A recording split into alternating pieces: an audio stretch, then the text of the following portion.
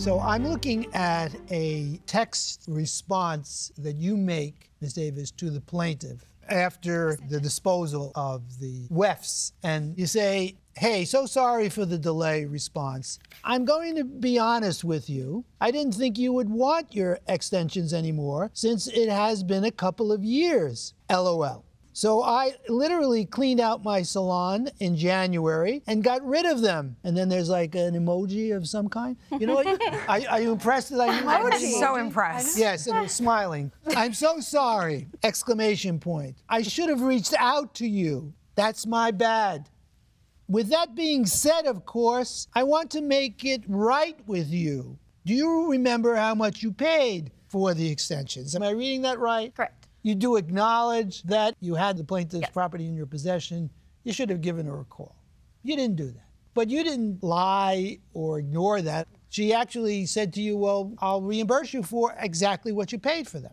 But then you said that there was something additional. Yeah, she changed what she wanted and wanted clip-ins. And you were willing to give her how much?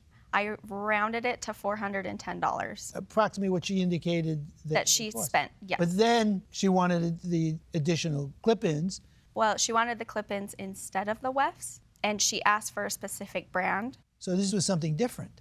Am I right? Miss? Yeah, just a different method of installation. Except they were more expensive. She quoted the price. She I told her what I paid two years ago in 2020 for the hair extensions, yes, but the hair extension, all of them have gone up in price. All right, Judge. So I don't know anything about the tape, but I've had a sew-in at one point. I've had clip-ins, and with clip-ins, I think I probably use mine longer than what nine to 12 months is how long they last. Correct? Yes. So with you storing the clip-ins, 18 months went by before she asked for them Yeah. back. They weren't worn. So Yes. did they have a longer shelf life? I don't think so. I mean, they were sitting on the shelf. They weren't even being conditioned or oiled or any type of care at that point. Now, Miss LaRue, she wasn't a regular client of yours. No. Okay, so this was probably the first time that you had ever interacted with her, correct? In August, yes. In August, okay.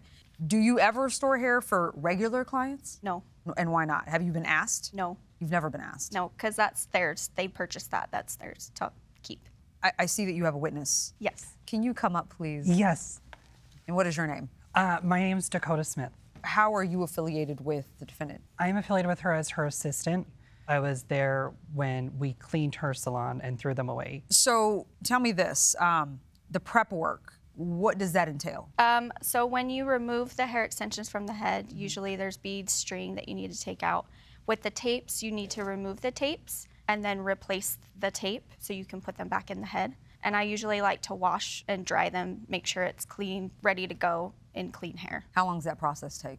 Depending on how much hair, 20, 30 minutes. All right, my question for you, Miss LaRue, how much did you actually pay for these extensions, the extensions that you asked the defendant to hold for you? A little 407 and some change. Okay, so Miss LaRue was asking for clip-ins this time, but they were more expensive.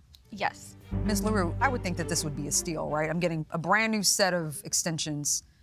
She's putting up 410 towards the 500 that, how much were 590. they? And you're only paying what? 180. That's kind of a deal, right? 180 versus having to buy a whole new set. Um, I was just asking to have my hair extensions replaced. Okay, so I guess you expected her to call you after two years. You're not a regular client of hers, and she was supposed to call you and not just naturally think that you abandon these? Because in her mind, they've kind of expired. They're probably ratty at this point, probably been thrown around a couple times. Well, hopefully not. That was my property, but Yeah, but you waited 18 months. well, she offered originally to store them, and as my stylist, I just trusted her As your stylist, you went to her how many times? like four times.